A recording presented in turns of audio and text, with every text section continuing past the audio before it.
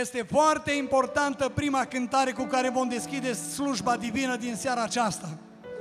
Și vă rugăm să luați locurile cât se poate de repede, repede, repede, repede, să se facă o mare liniște, că e prezent Domnul Isus aici între noi. Și vrem toată cinstea, slava și onoarea să o dăm Domnului Isus și El să se bucure de noi și noi de prezența lui Isus. Urmează să cântăm cântarea Astăzi este ziua, cântărește bine, vezi cum stai cu contul de la bancă, nu. Vezi cum stai cu pensia, că e aproape la mulți, nu. Vezi cum stai cu Dumnezeu. Întotdeauna când nu știi ceva trebuie să întrebi. N-am înțeles ce pe tablourile noastre care le primim aici, zice familia creștină. Ce ziceți, e aia modernă sau e aia creștină? E o mamă, un tată, un băiat mai mare și unul mic care o vine din accident. Asta nu e familia creștină. Dacă era familia creștină, pe panou era loc de 4, 5, 8, 10 copii cel puțin, nu? Ca să semene familie creștină. Și bine o zis fratele Dragoș și mulți ați pierdut care n-ați fost ieri. Suntem în societate, dar nu suntem ca ei. Domnul să trezească toate familiile la convenția aceasta, la conferință și să ne vadă toți de afară că suntem între ei, dar noi nu suntem ca ei. Domnul să ne vorbească și în seara aceasta prin Duhul Sfânt și toată adunarea să dorim asta. Am sperat că în producere să face liniște, dar încă nu s-a făcut. Urmează să lăudăm pe Domnul. Noi suntem în re major și toți instrumentiștii, tot ce are suflare în sală sau sus pe scenă, să cânte împreună cu noi. Astăzi este ziua, cântărește bine, vezi cum stai cu Dumnezeu.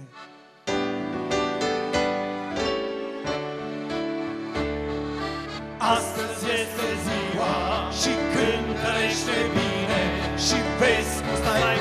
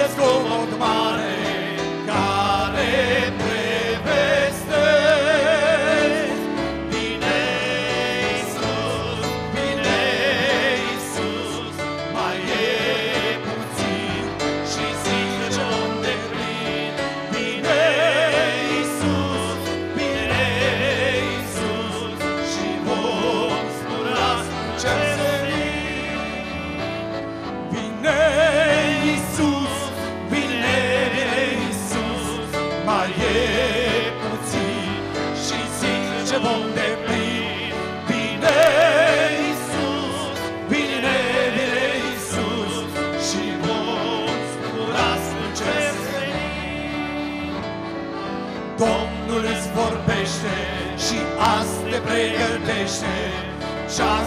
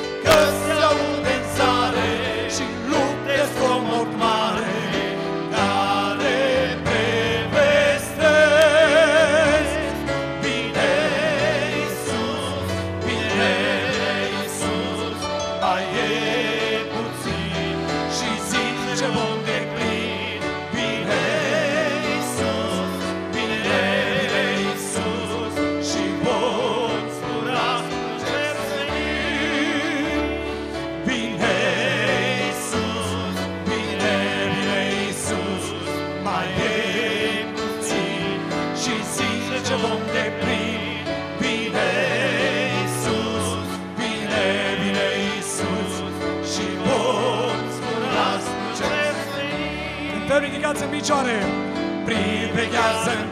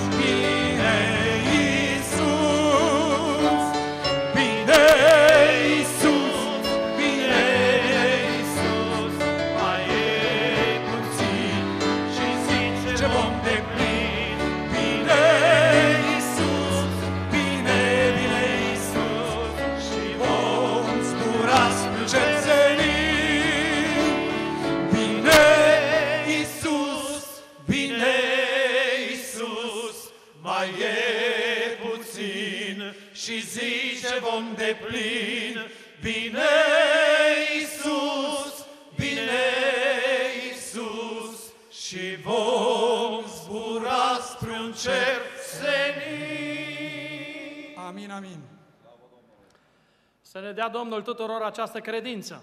Amin. Că suntem doar în trecere prin a- această zonă, suntem doar în trecere pe acest pământ și destinația noastră a tuturor este cerul. Nu suntem statornici aici, oricât am vrea să fim de statornici. Se dovedește că nu suntem stăpâni peste timp. Nu suntem stăpâni nici măcar peste viața noastră. Prin acestea, toate Dumnezeu vrea să ne spună, cerul este destinația omului. Ferice de omul care înțelege lucrul acesta, ferice de familia care înțelege lucrul acesta și ferice de toți cei care aud cuvântul Domnului și se întorc la Domnul, își pun viața în rânduială ca în ziua când va fi să treacă de aici, să-i primească Dumnezeu în corturile veșnice. Domnul să ne dăruiască tuturor această credință. Suntem la ultima sesiune propusă pentru lucrarea de conferință, cea de-a 25-a. Ne bucurăm pentru pacea, pentru harul și îndurarea Domnului, cu care am fost umpluți și binecuvântați de Domnul în acești 25 de ani. Sigur că acum 25 de ani nu am fost așa de mulți, dar ne bucurăm pentru cei care au fost și atunci, ne bucurăm pentru toți cei care s-au mai adăugat și tuturor vă dorim binecuvântarea Domnului. Haideți să ne unim cu toții glasurile, chiar că suntem de diferite confesiuni în locul acesta, dacă chemăm pe Dumnezeul Creator ca și Tată, cred că stând așa ridicați cu toții ne putem uni gândurile și să-L rugăm pe acest Dumnezeu să ne binecuvinteze și în clipele, orele care le mai avem de stat în locul acesta. Cu toată adunarea prezentă, cu respect, să stăm ridicați înaintea Domnului, închidem ochii și ne rugăm. Să fie harul Tău peste noi și îndurarea Ta, să aducă binecuvântare în sufletele noastre a tuturor. Îți mulțumim că ne iubești, ne binecuvintezi. Lăudat și binecuvântat să fie numele Tău cel Sfânt, Tatăl nostru din ceruri. Amin. Toată adunarea să ocupe locul.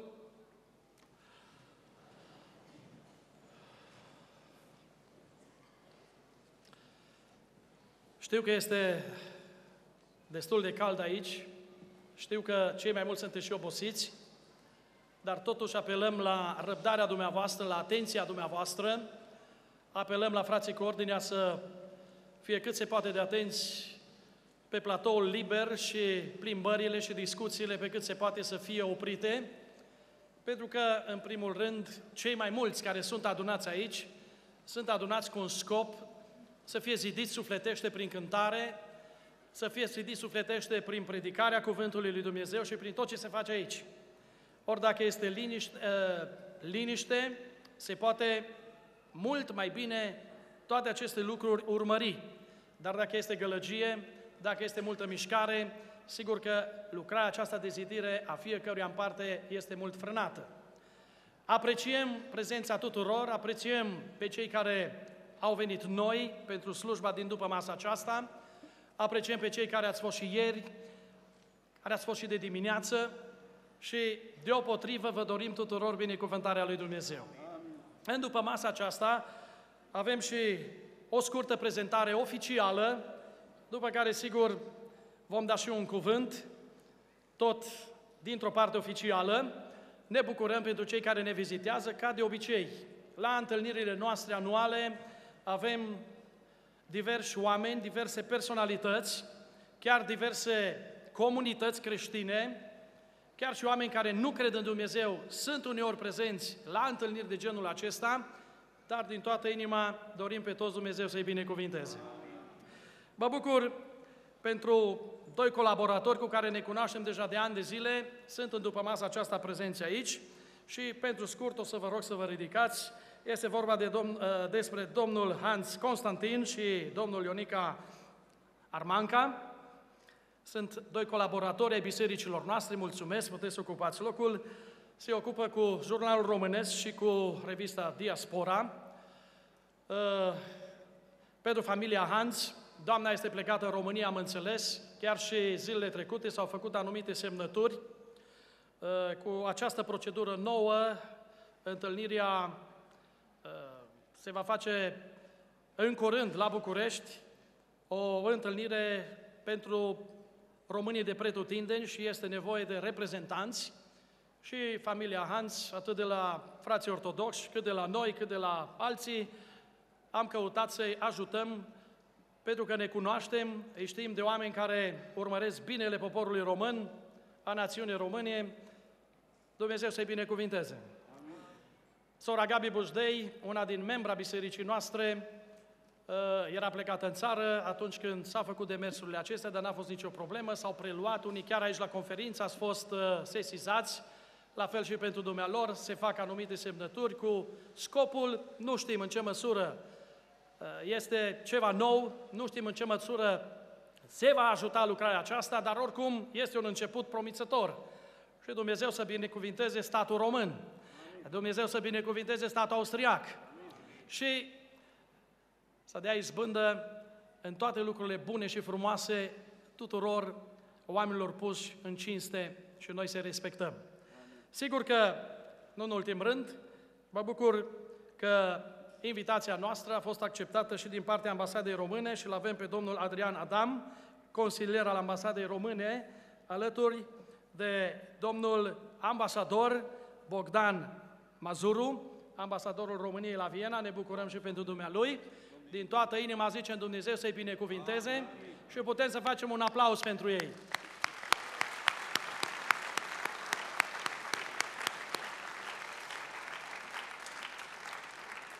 Să continuăm cu o cântare a fanfarei, fanfarea Elim, apoi uh, corul de tineri din Biserica Elim vor continua să laude pe Domnul și după aceasta domnul ambasador va avea un cuvânt pentru toată asistența. După această cuvântare, aș vrea să facem o rugăciune în mod deosebit pentru toți demnitarii înălțați în dregătorii, atât din partea română, cât și din partea austriacă. Noi suntem cei mai mulți de aici, români, chiar dacă unii dintre noi suntem cetățeni români sau cetățeni austrieci, dar cei mai mulți suntem români, dar în același timp, la fel, cei mai mulți locuim în Austria. De aceea este, cred că, potrivit să ne rugăm și pentru o țară și pentru cealaltă, Dumnezeu să binecuvinteze cele două țări Amin. cu prosperitate, cu binecuvântări pământești, dar în mod deosebit, ceea ce ne interesează și ceea ce ne doare și ceea ce dorim de la Dumnezeu, să aducă o trezire spirituală peste aceste două națiuni. Dumnezeu să ne asculte și să dea binecuvântarea Lui. Amin.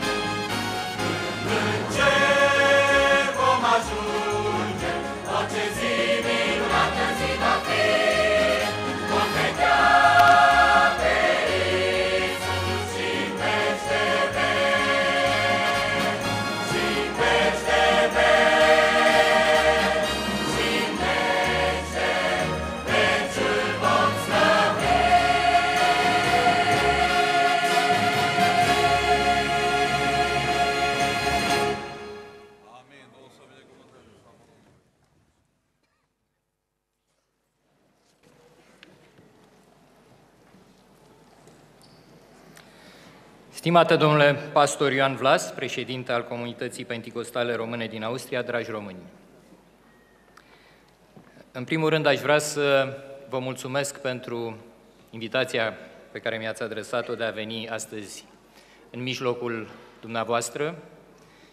Această conferință anuală a Comunității Penticostale a Românilor din Austria, înțeleg că este a 25-a ediție. 25 este o aniversare frumoasă, este o vârstă frumoasă și asta arată că sunteți o comunitate solidă, bine structurată și bine integrată în societatea austriacă. Încă o dată mulțumesc pentru invitație. Iar mă bucur foarte mult și sunt foarte surprins de numărul mare de participanți și acest număr mare mă face să mă gândesc la două lucruri. În primul rând, să mă gândesc la comunitatea românilor din Austria, comunitatea mare a românilor din Austria, pentru că ce sunteți dumneavoastră aici, sunteți o imagine a comunității române din Austria. Și nu pot spune decât că mă mândresc cu românii care trăiesc în Austria, pentru că cei mai mulți, foarte mulți și cei mai mulți dintre ei muncesc bine, muncesc frumos și reprezintă bine cuvântul România și reprezintă bine pe români. Sunteți bine integrați și așa cum spunea și pastorul Vlas, trebuie să păstrați legăturile în două direcții. În primul rând, sigur, legăturile cu România și de asta suntem și noi aici, ăsta este unul dintre rolurile noastre ale reprezentanților diplomatici în uh, străinătate de a păstra, de a, de a stimula și de a ajuta să fie păstrată legătura dintre românii plecați și țara de origine. Și pe de altă parte, evident, este normal să vă integrați în societatea țării de adopție, Austria. Faceți acest lucru foarte bine și vă mulțumesc pentru, pentru asta. În al doilea rând, numărul mare pe care îl văd aici de, de, de români mă face să mă gândesc la rolul extraordinar pe care îl are biserica. Orice biserică, biserica dumneavoastră și orice altă biserică creștină pentru românii din, pentru românii din străinătate. Sigur că, în primul rând, biserica are un rol spiritual. Biserica este locul unde ne apropiem de Dumnezeu și îl căutăm pe Dumnezeu. Dar mai ales pentru românii care sunt plecați, pentru românii care își părăsesc țara, își părăsesc orașul sau satul, pleacă de lângă rudele lor, de lângă prietenii lor, rolul bisericii este mult mai important. Este și un rol social, un rol social foarte, foarte, foarte important pentru cei care trăiesc în afara României. Biserica este și un loc în care Românii se întâlnesc cu alți români, românii caută sprijinul, în primul rând sprijinul evident, în primul rând sprijinul bisericii, dar și sprijinul compatrioților și conaționalilor lor. Și din punctul ăsta de vedere, biserica dumneavoastră are un rol extraordinar. Pentru, și sunt convins că asta simțiți mulți dintre cei care, care sunteți aici.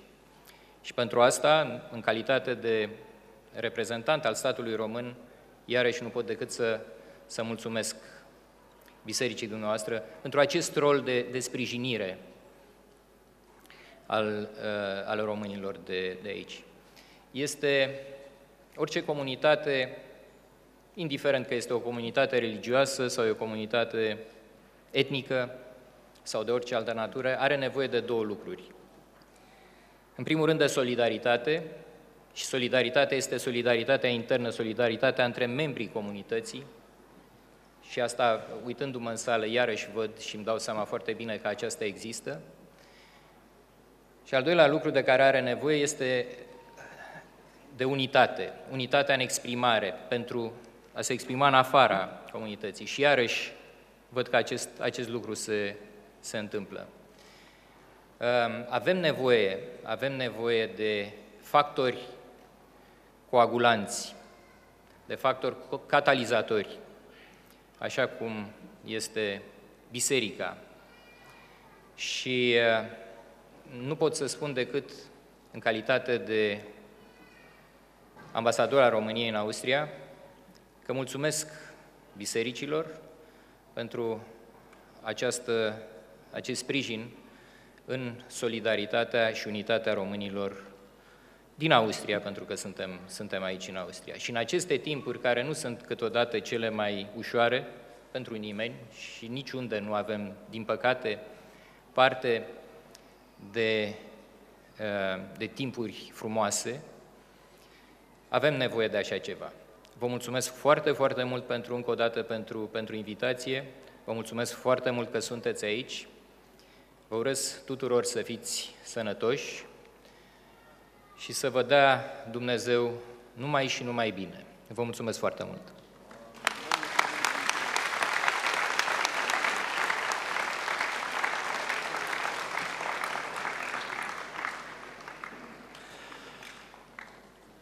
Din punct de vedere social, din punct de vedere al legăturii noastre cu România și noi la rândul nostru ne simțim onorați ca din partea ambasadei, tocmai domnul Bogdan, ambasadorul României pentru Viena, să fie prezent la noi aici, ne simțim onorați. Și, și noi vă mulțumim și din toată inima Dumnezeu să dea binecuvântare Amen. întregului corp diplomatic de la Viena, cât și tuturor românilor de pretutindeni. Dumnezeu să-i binecuvinteze. Așa cum am spus, dorim să facem o rugăciune special pentru diplomații, pentru toți oamenii cuprinși în dregătoriile celor două state, pentru țările acestea ca Dumnezeu să le dea prosperitate și binecuvântare și materială și spirituală. Alături de acestea au mai venit mai multe bilete pentru prieteni de tot felul, cu tot felul de boli, de suferințe. Să-i punem și pe aceștia înaintea Domnului, să nu uităm și de fratele păstor Eric Schneider, care, într-o oarecare măsură, are și directa responsabilitate uh, din Germania asupra colaborării împreună cu noi, uh, ca rânduială bisericească, să ne rugăm ca Dumnezeu să-i binteze familia, părinții care sunt foarte bolnavi și Dumnezeu să aibă în vedere pe toți cei care au nevoie de El. Să ne ridicăm cu toții la rugăciune. După punctul acesta, aș vrea să mai cuprindem doi musafiri, unul dintre ei n-a fost folosit deloc, fratele Florin Dărăban se va cupla împreună cu fratele din Croația și cu fratele Cuibus la o cântare, apoi mai ascultăm corul cu o cântare și îl avem și în mijlocul nostru îi zicem bun venit fratelui păstor Iuga Viorel din Biserica Baptistă Speranța Arad, este actualmente și președintele Uniunii Baptiste din România. Domnul să-l binecuvinteze. Amin. Este unul din uh, păstorii, cred că, de la Biserica Baptistă, care este cel mai bine cunoscut în Austria de bisericile penticostale, datorită implicației care o are pe plan de familie, pe plan de a prezenta Evanghelia Domnului în biserici și ne bucurăm, Domnul să-l binecuvinteze, să-l călăuzească, va avea după toate acestea un scurt salut de data aceasta și urmează dumneavoastră în biserici, dacă doriți să-i faceți invitație, dânsul în limita timpului va răspunde și Dumnezeu să vă binecuvinteze pe toți. Amin.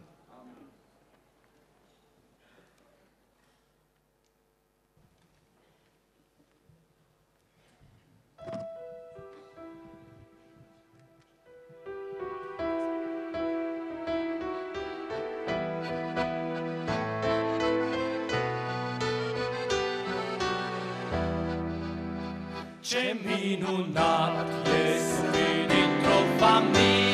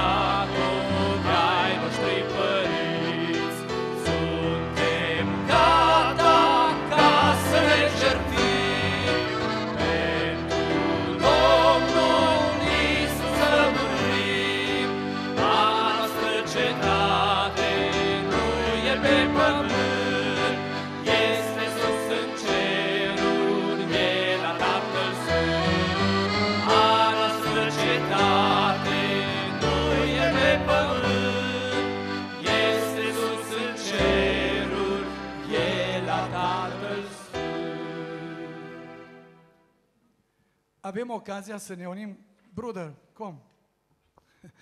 Croația, România, Austria. Din Croația nu știu dacă am avut vreodată la conferință un safir. Fratele a cântat ieri la chitară, un solo de chitară, e chitarist bun, bun, bun. Și pocăit, prieten bun cu fratele Fedor de la Graz. Și a zis, cum să procedăm?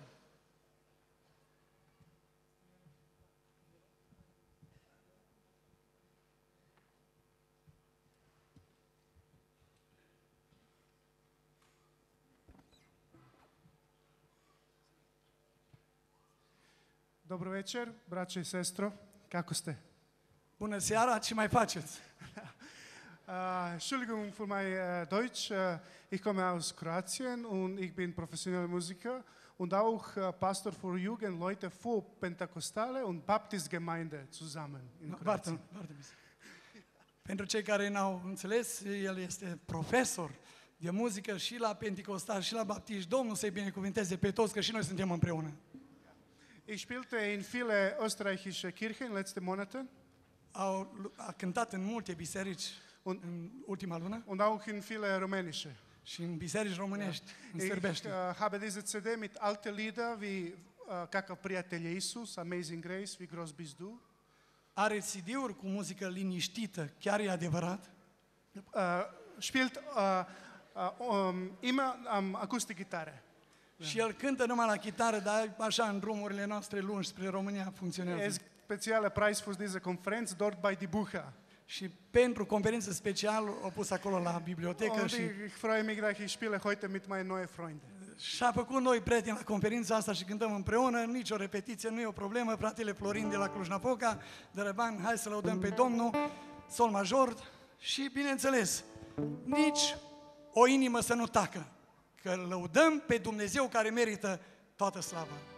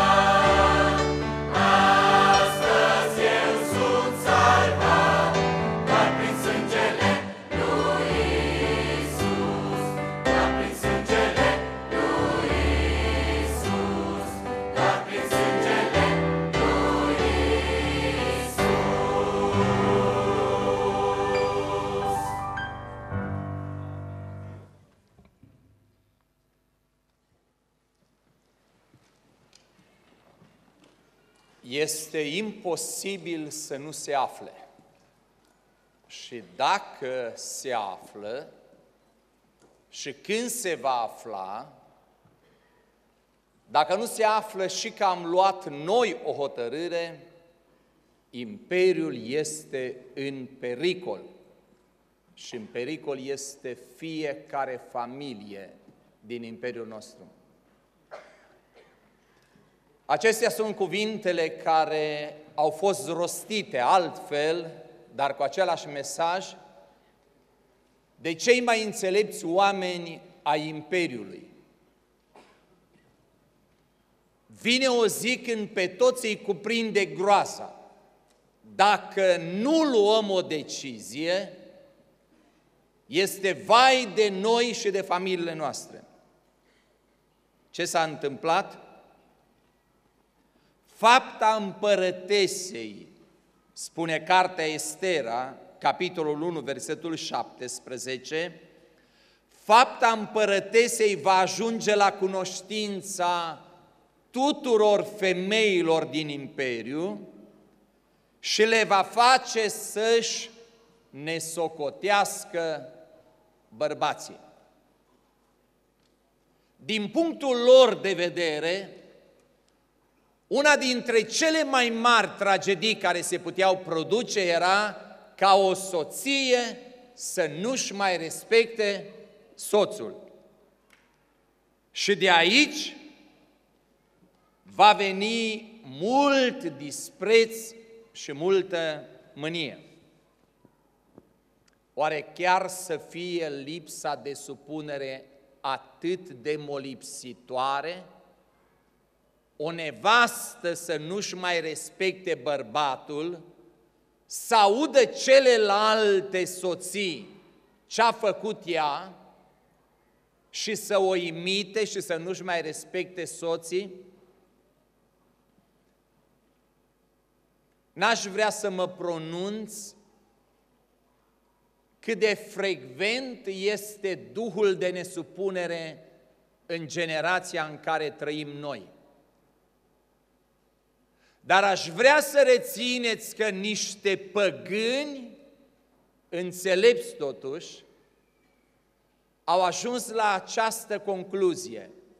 Dacă soțiile nu-și mai respectă soții, începe o adevărată tragedie. Mă gândeam ce am putea face noi în ideea că ar putea exista undeva o nevastă nesupusă și ea le-ar putea molipsi pe alții. Știți ce au făcut oamenii de atunci?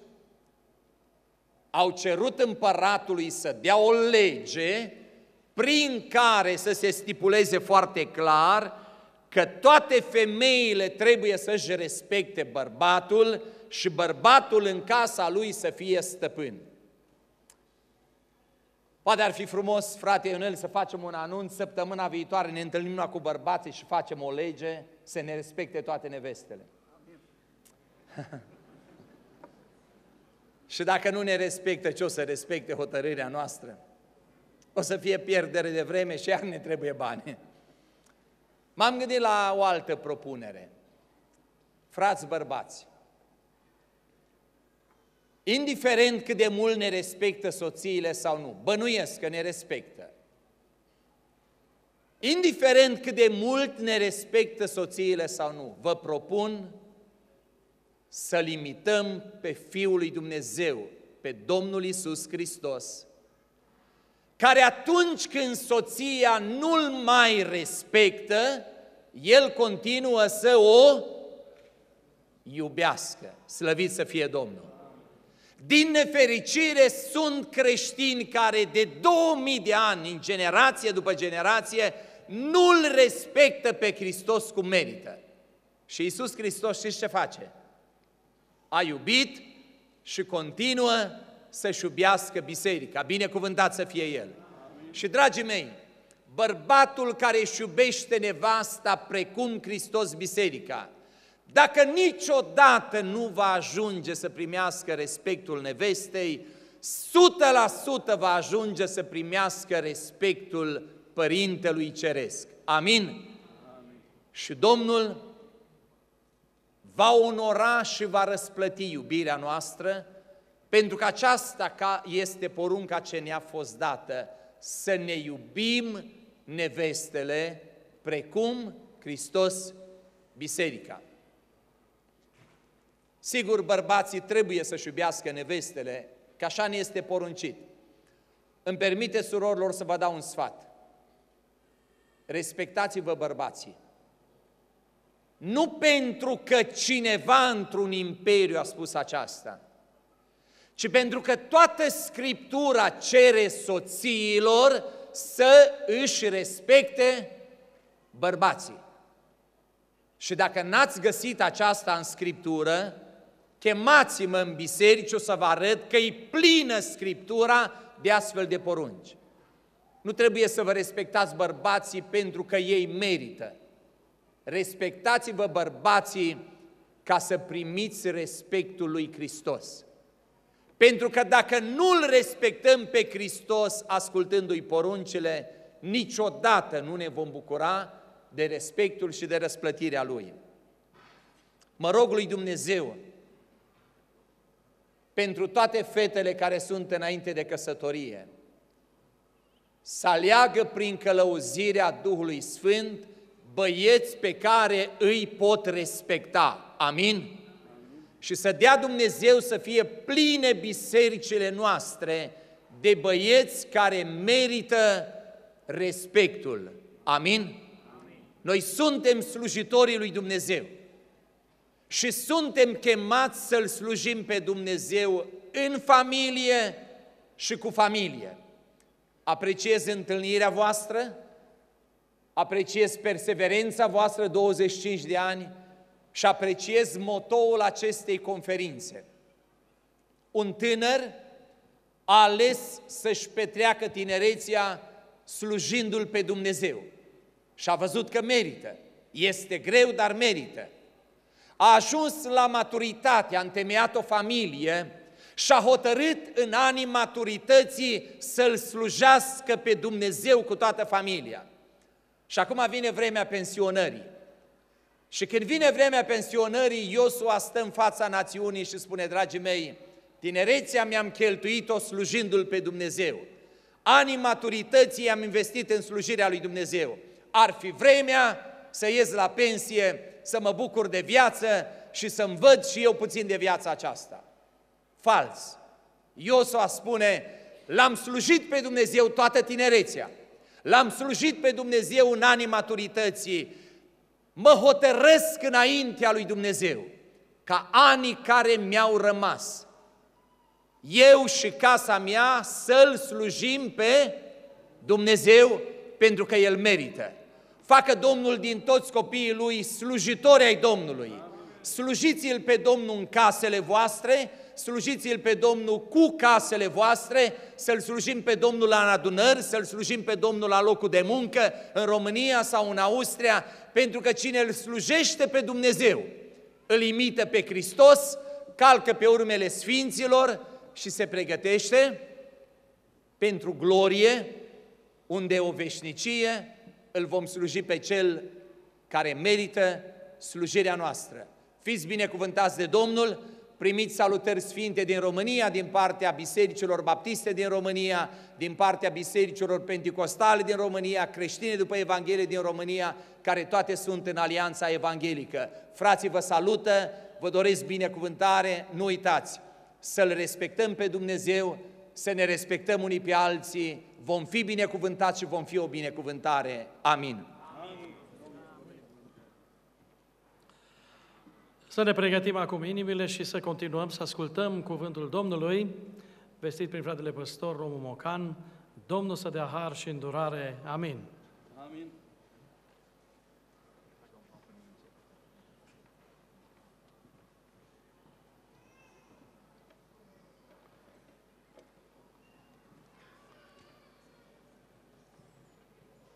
Să fie binecuvântat numele Domnului în vecii vecilor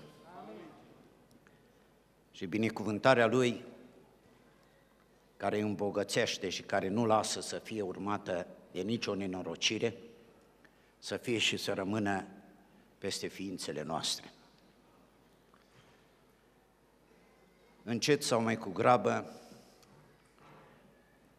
ne îndreptăm spre încheierea părtășiei acesteia.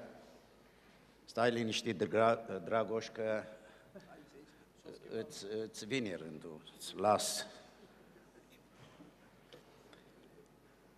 Dar, dincolo de faptul că se va încheia lucrarea aceasta binecuvântată aici, se va întâmpla concomitent cu despărțirea de aici un fapt, și anume, ne ducem acasă. Prin îndurarea lui Dumnezeu am uh, avut părtășie binecuvântată aici în tot ceea ce s-a spus, s-a cântat și în ceea ce mă privește V-am uh, provocat aseară probabil cu faptul că spuneam mesajul pe care îl am durează trei ore. Am consumat din el undeva la două ore și 20 de minute, deci mai rămân încă 40.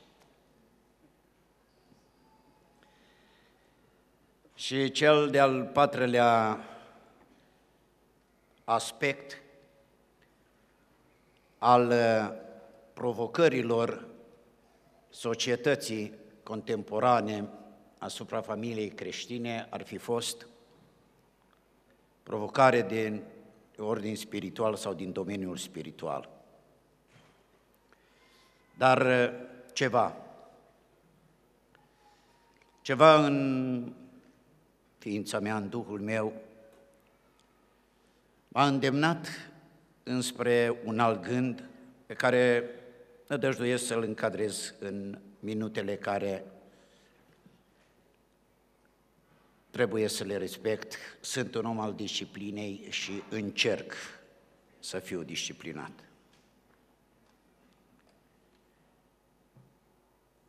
Despre unele aspecte ale provocării de ordin spiritual veți auzi de altă dată, le veți percepe ca atare sau le veți experimenta pe propria dumneavoastră piele.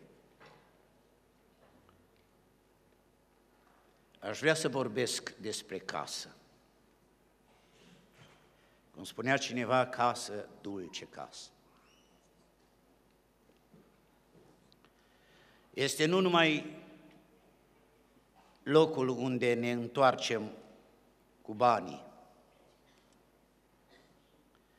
este nu numai locul unde ne întoarcem cu cumpărăturile. Este nu numai locul unde mai ducem daruri. Bărbaților, fiți atenți și țineți-vă de scaun. Este nu numai locul unde ne întoarcem cu o floare în mână, Ia să ridicați mâna. Care ați dus în ultima lună o floare acasă? Ha? Câțiva de un serviciu de planton în armată pentru noapte. Dumnezeu să vă binecuvinteze. Casa este acel spațiu al regăsirii de sine că ne stoarce societatea și ne stoarce biserica și ne storc prietenii și ne storc patronii și ni se dărâmă planurile și ni se fac cenușă idealurile și cei care exploatează doar forța fie ea intelectuală, fie ea fizică sau de oricare alt ordin, să vă uita la tine și vă spune, dacă voi avea nevoie, te sun. Asta e un semnal clar că ai terminat. Pentru că sunteți cititori de Scriptură și care nu sunteți, vă sfătuiesc, faceți-o. Dacă veți pierde ceva în viața aceasta, o repercusiuni veșnice, va fi faptul că n-ați citit Scriptura. Este faptul că nu v-ați făcut timp să cucetați la Cuvântul lui Dumnezeu. Vorbesc cititorilor de Scriptură și ajutați-i și pe cei care știți că nu au făcut-o până aici. Aș vrea să amintesc un prim fapt al uh, caracteristic al acestui spațiu al regăsirii de sine, amintind arhicunoscuta pildă rosită de Mântuitorul Iisus Domnul și scrisă în Evanghelia după Luca în capitolul 15, unde se spune că un tată a avut doi fii și într-o zi unul dintre ei a spus, pentru mine tata e mort. Și vorbea cu un mort, ghilimelele necesare, și a spus, mai fă un singur gest. Nu mă pune să mă duc pe la judecători, nu mă pune să mă duc pe la alții, ca să vină și să fac succesiunea, împarte-ți averea și dăm ce mi se cuvine. Că a venit provocarea lumii, că a venit provocarea spiritului de independență, că a venit provocarea din lumea duhurilor care vor să distrugă, chiar dacă oferta este poleită în uh, staniol sclipitor. A venit un străin, un duh prin țar pe la el și a spus, e timpul, băiete, să fii stăpân pe ceea ce ai.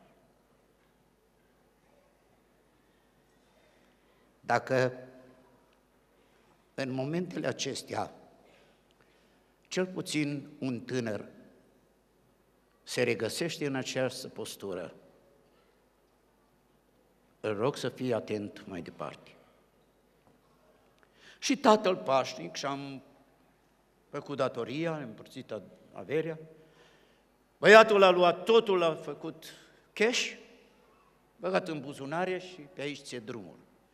Chefuri, distracții, spectacole, viață așa cum o înțelegea el că e libertatea. Dacă ai simțit vreodată că în căminul în care te-ai născut și te-ai format, n-ai spațiu să te afirmi, vreau să-ți spun în această seară, dă-ți două palme zdravene, Vino-ți în fire, toarnă-ți o căldare cu apă rece în cap. Du-te și te închide undeva și aruncă cheia pe geam până când îți revii. Dar nu pleca de acasă. Te rog în numele Lui Hristos. Nu pleca de acasă. Poate ai idealuri. Vezi viața în rost și crezi că toți sunt deschiși cu brațele să te primească pe tine și să te poarte în glorie. Că de avea bani, vor avea tăria să se poarte cu tine frumos. Vor avea suficientă dexteritate să poarte mască. Când nu vei mai avea nimic, vei ajunge la groapa de gunoi a societății. Că băiatul acesta a cheltuit totul și a venit o foamete mare și n-a mai avut nimic și s-a dus să se lipească de unul dintre bogații din zona aceea, din străinătatea aceea, care n-a venit înaintea lui cu torturi și cu lumân, lumânărele și să-i, să-i, să-i, să-i cânte la mulți ani, ce l-a băgat la porci de slugă. Și decăderea este teribilă când accepti provocările lumii. Acolo, probabil și gândul sinuciderii a dat târcoale. Când uh, nu putea să se hrănească nici măcar cu hrana porcilor. cu păstăile acelea de roșco pe care el trebuia să se urce în pom și să le scuture și nu putea să se dea suficient de repede jos să prindă și el măcar unii, pentru că hulpavii porci mâncau totul și nimeni nu-i dădea nimic. Tu crezi că lumea ți-e prietenă. Tu crezi că lumea este casa ta. Vreau să spun, lumea va stoarce tot ce poate din tine și apoi te aruncă ca și păzdreanță. Dar este un loc. Locul acesta se numește casă. Unde acolo, când ai ieșuat în cele mai mărețe planuri ale tale, când s-au făcut praf și pulbere idealurile tale, când societatea dă cu piciorul în tine, este un loc numit acasă. Acolo poți să te regăsești pe tine însuți. Și fiul acesta a spus astfel, Luca Evanghelia Sfântă, capitolul 15, cu versetul 17. Și a venit în fire, s-a trezit. A crezut că cu ochii lui poate pătrunde totul și a ajuns un orb și a ajuns un nimeni, cel care, care a crezut că va domina cu punga lui de galben. Cum mai cred unii și astăzi? Și a venit în fire și a zis, câți argați, ca să mă înțeleagă și tinerii și copiii care pot să și, și atenți. Câți robi, câte slugi ai tatălui meu au belșug de pâine, iar eu mor de foame aici. Tatăl tău are pâine? Dar dacă are pâine, mai are și pentru tine? Vreau să spun în această seară, da, un tată care îl are în el pe Dumnezeu, că vorbesc acum la nivelul familiei, un tată care are în el dragoste și nu te-a cârpit peste cap când ai fost obraznic și insolent cu el și i-ai spus pentru mine ești mort, chiar dacă ai luat tot ceea ce are, va mai rupe din pâinea lui și îți va da ție, întoarce-te acasă. Și dacă ai sfidat pe Dumnezeu, Tatăl Ceresc care face să crească toate lucrurile de pe pământul acesta și pâinea ne-o dă în fiecare zi. Și l-ai scuipat în față cu necredința ta și l-ai socotit mort, ca așa te-a învățat un profesor de ateism. Și te-ai dus și te-ai cufundat și te-ai bălăcărit în toate spurcăciunile posibile din lumea aceasta, cum mărturisea tânărul despre care aminteam aseară, am făcut tot ce s-a putut omenește să mă cobor mai jos, în afară de faptul că n-am omorât oameni. Și așteptam un răspuns, dacă există iertare, am să-l caut și să vorbesc despre faptul că există una casă și că Tatăl Ceresc are o inimă atât de mare și are posibilitatea să ierte prin sângele mielului și jertfei sfinte a Domnului Isus Hristos, dacă un singur om ar avea posibilitatea să înmagazineze în el tot păcatul omenirii, de la gestul fatal al lui Cain până la ultimul nenorocit care se va naște în lumea aceasta și care va fi sub amprenta păcatului, dacă tot păcatul lumii, de la început și până la sfârșit, de la Adam și până la Marele Amina lui Dumnezeu, ar fi peste o singură persoană. Sângele lui Isus Hristos are putere să ierte, să curățească. Slăvit să fie numele Lui. Există una casă unde te poți regăsi pe tine. Mă voi scula, mă voi duce la tatăl meu și îi voi zice, Tată, am păcătuit împotriva cerului și împotriva ta și nu mai sunt vrednic să mă chem fiul tău, fă ca pe unul din argații tăi. Întoarce-te la tatăl tău, la tatăl tău care te-a născut, la tatăl tău care ți-a dat numele de familie, la tatăl tău care te-a ținut în brațe, la tatăl tău care a trudit pentru tine, la tatăl tău care te-a urecheat atunci când erai vrednic să fii pălmuit de-a binelea, la tatăl tău de acasă. Oriunde este casa aceasta așezată în mod geografic.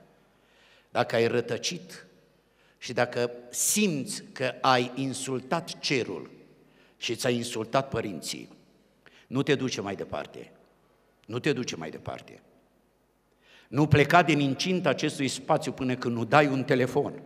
Să-i spui, trebuie să am o discuție cu dumneata, nu cu tine, cu dumneata și să rezolv o problemă care mă apasă. Spune asta. Te duci de aici, fără să iei socoteală aceste cuvinte, s-ar putea să nu te mai întâlnești niciodată cu o șansă să rezolvi problema aceasta. Eu știu că aici sunt familii care plâng pentru copii care s-au dus, sunt tați care nu dorm noaptea. Dumnezeu să dea înțelepciune. Amin. Casa este locul regăsirii de sine. Nu mai sunt vrednic să mă chem fiul tău, fă-mă ca pe unul din argați. Și s-a sculat și a plecat la tatăl său. Când era încă departe, tatăl său l-a văzut. Ei s-a făcut milă de el. A alergat de a căzut pe grumazul lui și l-a sărutat mult. Tată, lasă poeziile, mă. Lasă-mă poeziile. Ei, argat, șef, adă haina aia mai bună. Care haină? Mă, aia care a făcut-o eu după niște dimensiuni și după o talie pe care am avut-o permanent în mintea mea, că fiul lui trăia în mintea tatălui și că noi trăim în mintea lui Dumnezeu prin Hristos. Și a pregătit Dumnezeu o haină pentru noi, cu condiția să ne întoarcem acasă. Să ne întoarcem acasă. Adă haina cea mai bună, adă și dă încălțăminte în, în picioare, pune inelul în deget, că se întoarce acasă. Fiu, nu rob, se întoarce acasă după toate eșecurile lui. Și tare aș vrea, n-aș vrea să sune, Doamne ferește, altceva, decât am un semnal de trezire – m-aș ruga lui Dumnezeu celor care îți ieri, să le dea Dumnezeu așa un eșec încât să-și vină în fire, să se trezească, să se întoarcă la părinți și să recunoască greșeala și să se întoarcă la Dumnezeu, care va avea milă de el, la Dumnezeul nostru care nu obosește iertând și să se regăsească pe ei înșiși și să capete înfierea prin Hristos cu pocăință. Amin. 2. În uh, a doua carte a lui Samuel, în capitolul 6, este o descriere frumoasă a faptului că uh, a ajuns înapoi chivotul Domnului la Ierusalim, care chivot pusese luat zeci de ani. Și acum David este plin de bucurie, știți, știți unii care folosiți argumentul acesta ca să jucați în biserică, să dansați în biserică. De ce David? Nu, nu jucat acolo. Plin de bucurie, într-o, într-o, într-o efervescență extraordinară a simțurilor, joacă înaintea chivotului, se duce cu bucurie, se așează chivotul la locul lui Și de la sărbătoarea aceea era o lipsă. Era o persoană lipsă, tânja. Ar fi tânjit să se bucure și ea. Am înnegrit-o suficient prin predici. E cazul să facem și o reparație de onoare. A fi vrut să se bucure și ea, chiar să coboare acolo jos, dar n-a invitat-o nimeni n-a chemat-o nimeni. Pentru că împăratul David soțul lui Mical a fost provocat în Duhul lui să facă și a uitat de nevastă. Și sunt atâția, și aici vine provocarea aceea de ordin spiritual. Sunt atâția activiști din ăștia care pornesc toată ziua, sunt numai, numai pe ducă, numai pe ducă.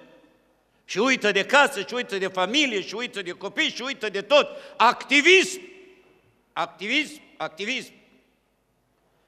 Și femeie cu 11 copii, la o vârstă matură, a ajuns să păcătuiască. O soție a unui evanghelist din ăsta, cu drumul și cu postul numai. Și când s-a făcut judecata omului, s-a hotărât că de fapt, a femeii, s-a hotărât că de fapt mai mare vină are el, care n-a îngrijit de soția lui și a călcat cuvântul, despre care aminteam ceva dimineață. Mical se uita pe fereastră. Există câteodată ceva, chiar și în cei mai înălțați oameni, să se amestece așa, să, să, să, să cânte acolo cu oamenii de rând, să mânce o zamă de fasole, să, să, să scape de mâncările sofisticate, îți vine câteodată așa. Sunt cam prozaic, nu-i așa? Da, simțim câteodată că ne coborâm de acolo, ar trebui să ne coborâm din turnul de fildeș să ne amestecăm cu bucuria aceea sănătoasă așa, și de la rădăcină.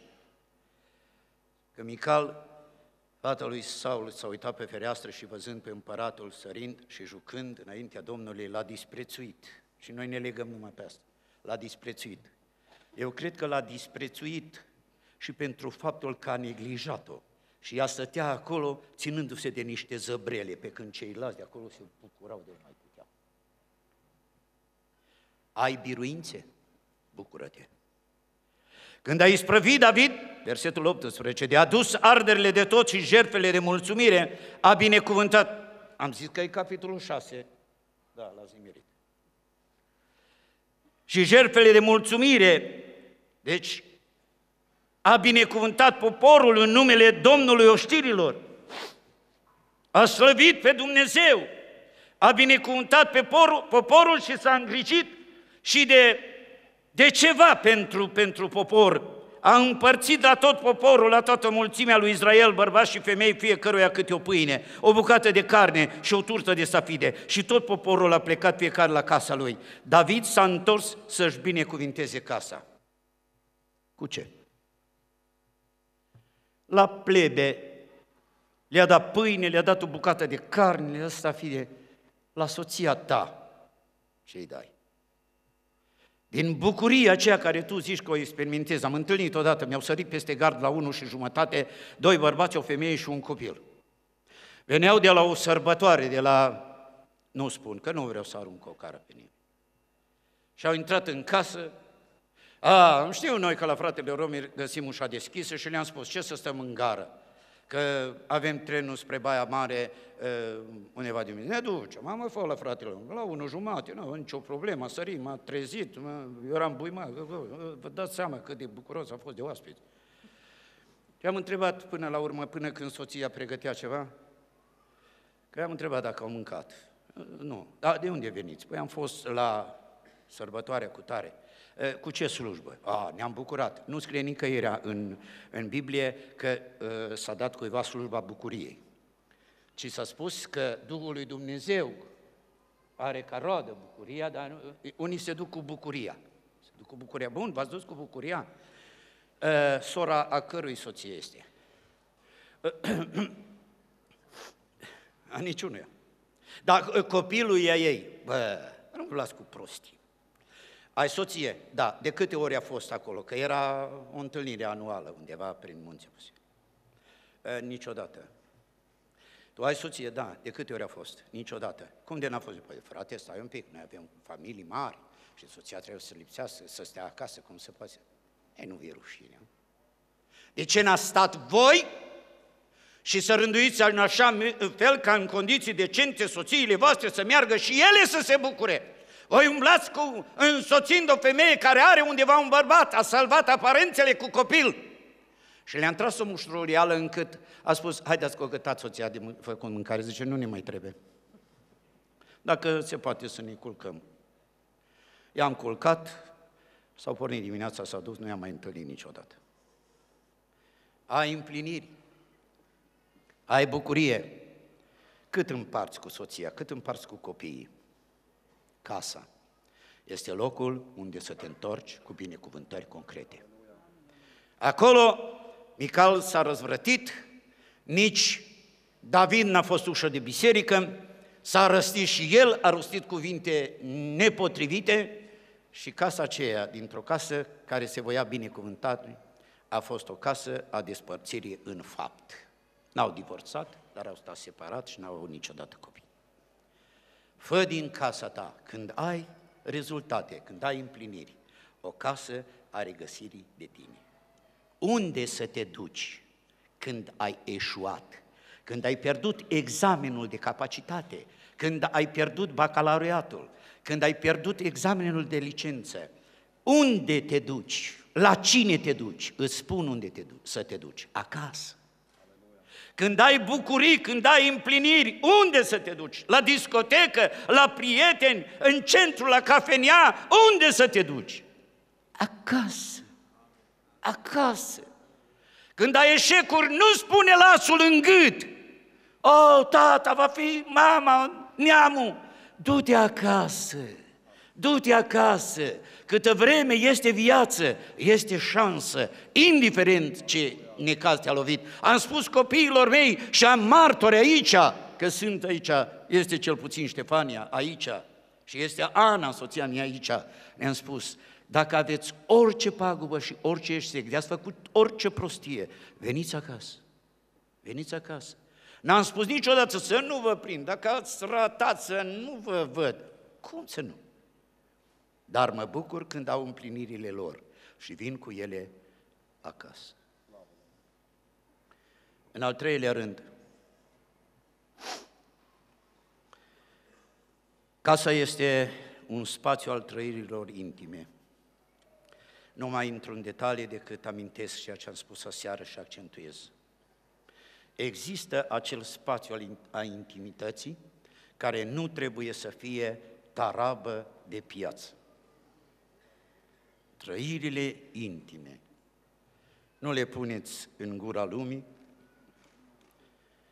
nu vă coborâți până acolo încât să fiți privite sau priviți ca și o marfă pentru vânzare, ci bucurați-vă în cadrul concret, ca și soț, ca și soție, așteptați, dragi tineri, până când se împlinesc lucrurile și scoate toate și sub binecuvântarea lui Dumnezeu să fiți soț și soție și să aveți trăirile intime, relațiile cele mai sensibile în spațiul regăsirii de sine, numit familie, numit casă. Și mai este spațiul acesta un loc unde până și oamenii mari pot să plângă. Altfel avem morga noastră. Ne ținem așa țapeni de parcă am înghițit coada măturii. Avem orgoliul nostru, strângem din dinți. Pe când alții se descarcă emoțional, trag câte un plâns și mi E gata, ai vesel și terminat. Nu te da în spectacol. Nu te opri în mijlocul pieții și începe a urla. Când ai o durere, întoarce-te acasă și plânge acasă. De ai o bucurie și cea mai înaltă formă a trăirii bucuriei imense este să plângi. Probabil mă, când socotiți dus cu pluta. Nu, să știți. Ceea ce este dureros și trist în biserici nu se mai plânge. Nu se mai plânge. Uh, am uitat la cât am început, la și 10, cam gata. Încă 3 minute, 4, dacă reușesc, sau o fi de alea ca la ruși, așa lungi. Uh, uh, acasă, acasă acolo unde să poți comunica cu soția. Uh, Nu știu ce s-ar fi întâmplat cu David și cu Mical dacă s-ar fi început David să bocească. Dar cred că aș fi rezolvat mai mult decât s-a răstit la ea și a spus și să mai știi ceva, că Dumnezeu m-a ridicat mai presus decât pe tatăl tu și că mi-a dat împărăția și să mai știi ceva, că voi avea trecere la slujnice dacă tu faci pe țâfnul asta. Așa ceva nu se face. O femeie jignită, soția jignită, co- ă, fi- ă, ființa aceasta, soția umilită, poate să devină o fiară, chit că pierde tot. Chit că pierde tot. Învățați ceva. În Genesa, în capitolul 43, găsim cuvântul lui Dumnezeu, care ne vorbește despre o imagine, fratele uh, Dragoș amintea aseară o altă părticică din tabloul acela extraordinar, dar uh, este întâlnirea dintre Iosif și frații lui. Când s-a descoperit, zice versetul 26 din capitolul 43, Genesa, că ei și-au pregătit darul, ceilalți feciori, și-au pregătit darul, i-au dat darul pe care îl aduseseră și s-au aruncat cu fața la pământ înaintea lui. Când i-au dat darul, când a ajuns Iosif acasă, de acolo, de la drăgătoria lui, de la câte a fost, Iosif a ajuns acasă și acolo frații lui se duc cu un dar. Și el îi întreabă de sănătate, nu era cunoscut încă de frații lui, și primul gând pe care îl are nu este de pentru turme, nu este de pentru prietenii care îi avusese cândva, a spus, bătrânul vostru tată de care ați vorbit este sănătos, mai trăiește. Eu răspund, robul tău, tatăl nostru este sănătos, trăiește încă, s-au dus, s-au plecat, s-au aruncat cu fața la pământ. Iosif a ridicat ochii și aruncând o privire spre fratele său, Beniamin, fiul mamei sale, a zis, acesta este fratele vostru cel mai tânăr despre care mi-ați vorbit? Și a adăugat, Dumnezeu să aibă milă de tine, fiule. Era în palatul lui, dar el era transpus într-un spațiu numit acasă. Casa aceea, cortul acela sărac bătut de vânturile pustiului, de acolo, din țara dorurilor lui. S-ar putea să nu găsești liniște și vă te asigur că nu găsești liniște, liniște în cele mai luxoase, în cele mai, mai, mai, mai faimoase locuri. Dacă undeva știi că este o inimă rănită, n-ai să găsești niciodată liniște, întoarce-te și întreabă de tată. Și a adăugat, Dumnezeu să aibă milă de tine, fiule. Versetul 30. Iosif a isprăvit repede căci se rupea inima pentru fratele său și simțea nevoia să plângă. A intrat de grabă într-o daie și a plâns acolo. Omul cu figură de marmură, omul care a impus asupra unui imperiu dacă nu ridica el mâna, nimeni nu avea voie să ridice mâna. Dacă nu mișca piciorul, nimeni nu avea să miște piciorul în tot imperiul, în afară de faraon. Și acum plânge. A intrat în casă și s-a regăsit pe sine. Copilul, cu traistea cu bucate în spate, mergând să-și caute frații. Fratele vândut de frați. Robul osândit pe nedrept, pușcăriașul de drept comun. Și acum, al doilea după faraon. El s-a dus într-un spațiu numit casă și a putut să se regăsească pe sine cu aceeași inimă iertătoare, cu aceeași inimă primitoare, cu aceeași inimă plină de dragoste. S-a regăsit plângând acasă și închei. Închei cu un ultim gând. Casa, dulce acasă, este spațiul unde te aduni când alții nu mai au nevoie de tine. Că vine și vremea aceea. Acum, telefoane, frate, hai, frate, hai, Unul a spus cinstit, frate, vino pe la noi până nu ți se termină mandatul. Și am zis, nu vin, ca să văd dacă mă vei căuta după ce mi se termină mandatul. Că acum fac poze, secretar general. Dar când nu mai fi nimeni decât eu, omul. Nu știu cine m-am căutat și nu, nu am pretenții. M-am obișnuit să n-am pretenții. Dar știu că este un loc unde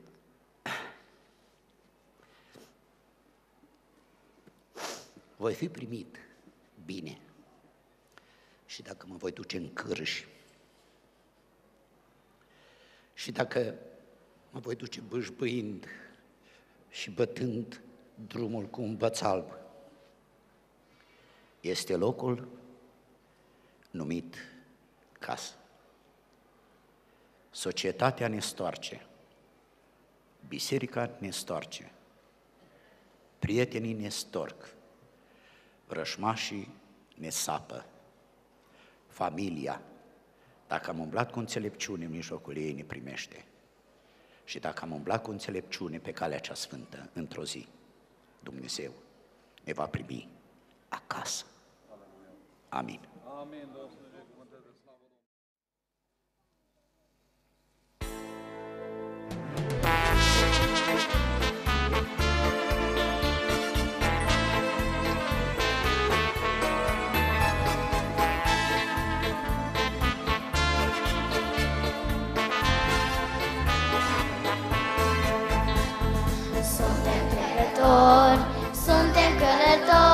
upon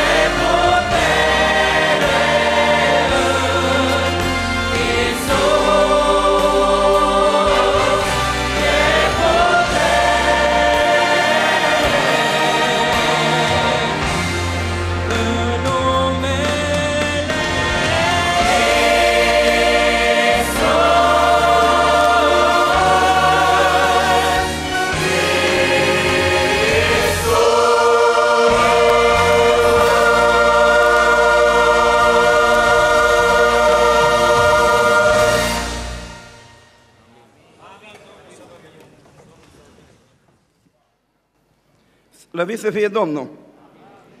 Dacă vreți, haideți să ne ridicăm în picioare. Vreau să citesc un singur verset din Cartea Faptele Apostolilor, capitolul 2, și anume versetul 37. După ce au auzit aceste cuvinte, ei au rămas străpunși în inimă și au zis lui Petru și celorlalți apostoli, fraților, ce să facem? Amin. Vă rugăm, ocupați locurile.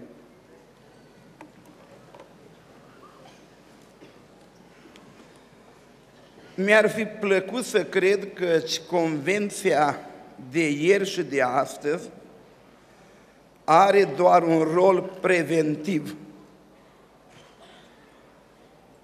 Mă tem căci, de fapt, este o constatare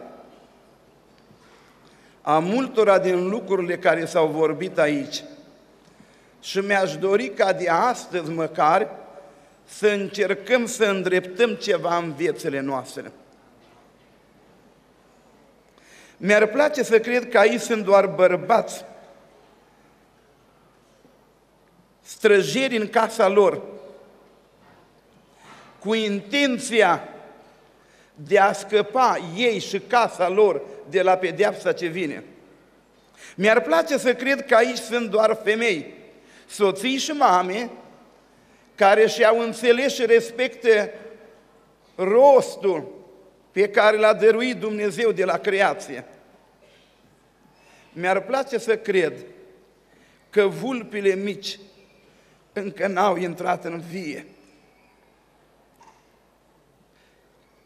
Că bobocii de floare încă n-au fost murdăriți.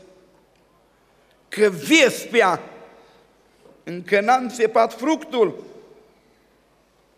Că larva, viermele, încă n-a mușcat din noi și familiile noastre. Mi-ar place să fie așa, dar tare mă tem că nu e așa. Și după toate câte s-au vorbit ieri și astăzi, m-am hotărât acum recent să citesc versetul acesta. Și să ne întrebăm acum, pe finalul întâlnirii, fraților, ce să facem? Cei de generația mea suntem condamnați să ne uităm peste umăr la urma pașilor în vale, vorba profetului Ieremia. Nu mă puteți opri astăzi să nu am acele aducere aminte, nu că trăiesc din ele, dar le folosesc doar ca metodă de comparație. Am peste 56 de ani de pocăință. Mi-aduc foarte bine aminte de atmosfera bisericească de acum 50 de ani, dacă vreți. Și fără să vreau o compar cu cea de astăzi. Copiii mei cântă în corul bisericii. Mă uit cu drag la ei, mă uit la cântările care se cântă. Și fără să vreau, mi-aduc aminte că în 1964, în adunarea noastră, s-a înființat corul mixt. Și că solista corului era mama cu o voce extraordinară. Mama, chemată de mult acasă.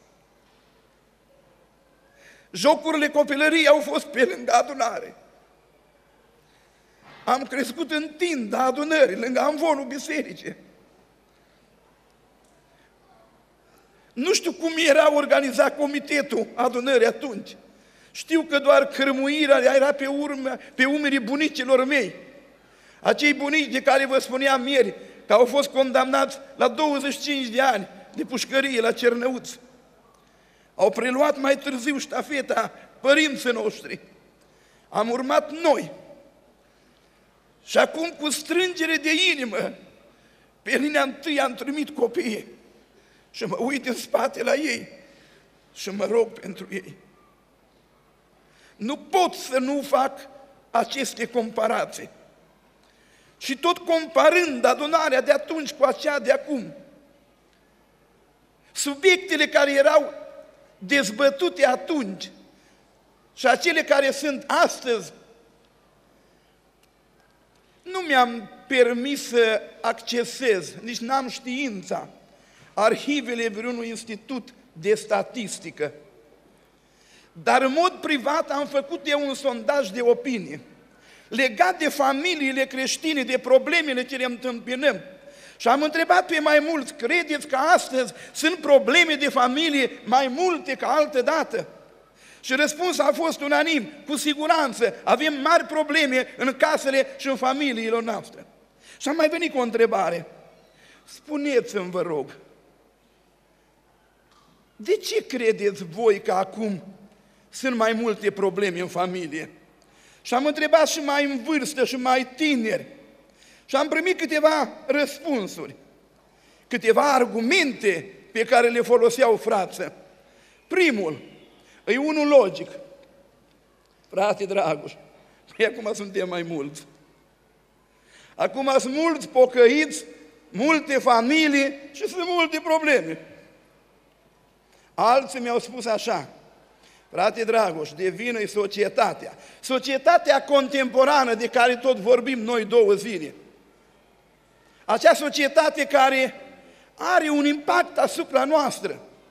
În urmă cu doi ani am pregătit o temă pentru conferința pastorală de la Suceava și mi-a fost dat să pregătesc tema cum rezistă biserica la presiunile din zilele din urmă. Și am trebuit să prezint tema aceasta arătând biserica în mod fragmentat, pe segmente. Și am ales un segment care se cheamă familia și am arătat presiunile societății asupra familiei. Dacă vreți, un alt segment erau slujitorii, care sunt presiunile actuale asupra slujitorilor, că sunt grozav de multe. Și alții mi-au spus, deci, frate Dragoș, devine societatea, modernismul ăsta care ne nenorocește familiile. Alții mi-au dat un al treilea răspuns, frate Dragoș, în casele noastre nu se mai trăiește pocăința cerută de Scripturi. De aceea avem mari probleme noi. Și acum aș vrea să le reluăm așa pe rând. Primul argument, spuneam, e logic și nu-i nevoie să-l primiți, că suntem mai mulți și avem probleme mai multe. Dar nu-i obligatorie proporționalitatea, nu.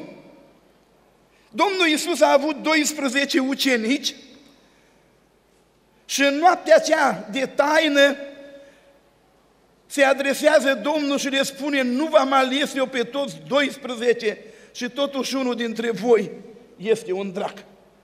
Din 12 unul a vândut pe Mesia.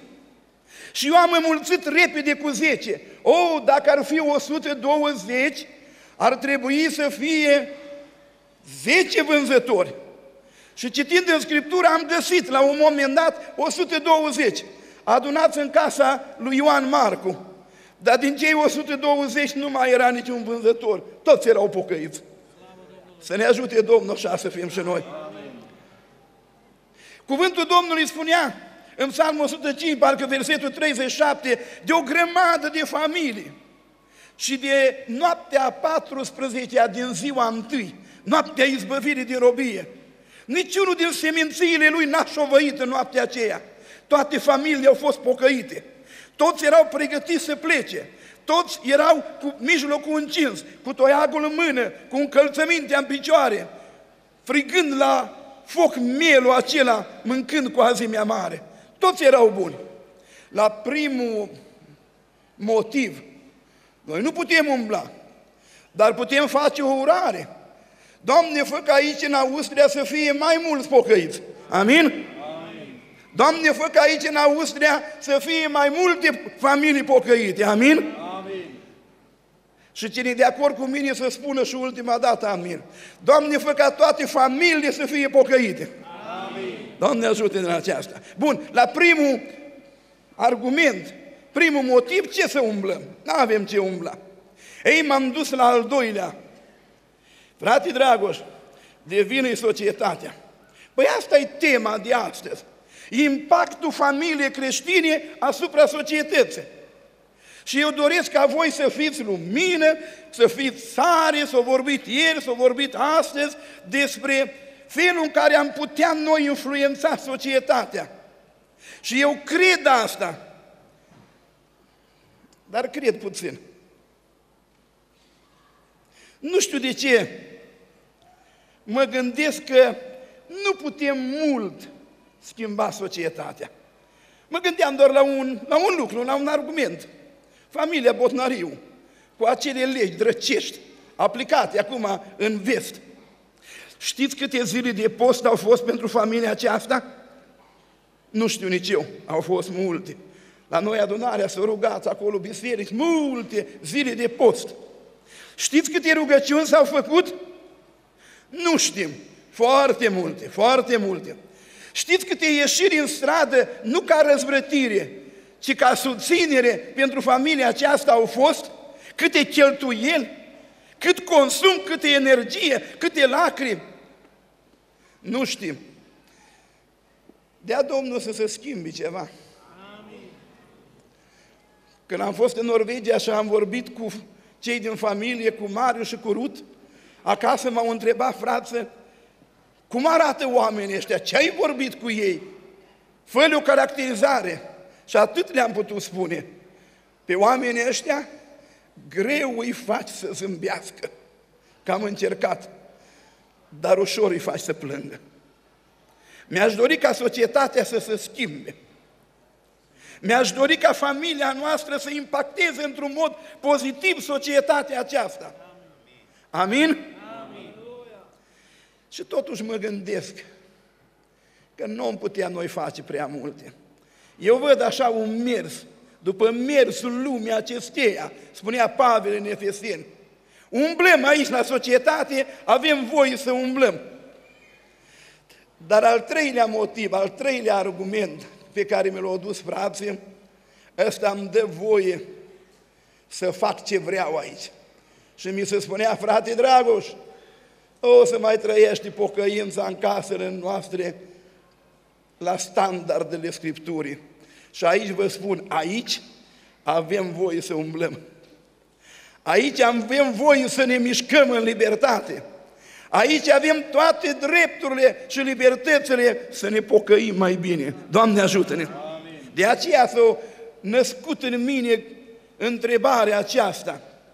E o întrebare la care răspunsul e foarte complex. În parte ați primit răspuns, iar în parte nu. Și nu știu dacă îi fi în stare să vi-l dau, dar vă spun că e temă pentru acasă. Când mergeți acum cu mașina până în Linz, până în Viena, până în Graz, vă dau o recomandare. Nu faceți voi clasamente, nici statistici. Vă dau voie să vorbiți voi între voi în mașină, să întrebi bărbatul pe nevasta, să întrebi părinții pe copii ce să facem. Ce avem de făcut de aici înainte? Și Dumnezeu să ne lumineze, amin? Că întrebarea asta nu-i născută în mine, nu eu am născocit-o. Mi-aduc aminte de o întâmplare. Tot în cadrul unei familii, o femeie a fost necredincioasă bărbatului ei. Și ce i-au venit ei, ce i-au cășunat, că au plecat la tatăl sau casă. De aici câteva lucruri ciudate. Bărbatul stă trei luni de zile fără nevastă, eu trebuie trei luni ca să vadă că e greu fără nevastă. Mie mi-ajung trei ore. Ei, la omul ăsta i-a trebuit trei luni. Sau trei luni o compus el poezioara aceea, că spune Scriptura că la un moment dat s-a dus să vorbească inimii ei. Trei luni a tot conceput el declarații. Certe că a reușit. O vorbit inimii ei, s-a bucurat cu socrusul și a luat nevasta să plece spre casă. Dar s-a întâmplat nenorocirea din Ghibia lui Beniamin, cu derbedeii din familia lui Belial. Nu intru în detalii, sunteți cunoscători de Scriptură, că e conferință pastorală penticostală, sau cum se cheamă ea, da? Și la un moment dat, când trupul tranșat al acestei femei a fost împrăștiat în tot Israelul, spune Scriptura că tot poporul s-a strâns ca un singur om la mitzvah și s-au întrebat căpeteniile și bătrânii și tinerii, s-au întrebat unii pe alții, fraților, ce să facem? Suntem la încheierea acestei convenții. Duceți-vă cu întrebarea asta acasă. Să, vă, să nu vă dea Duhul Sfânt liniște și nici pace. Nu vă place urarea mea. Să adormiți târziu în noaptea asta să aveți o discuție serioasă.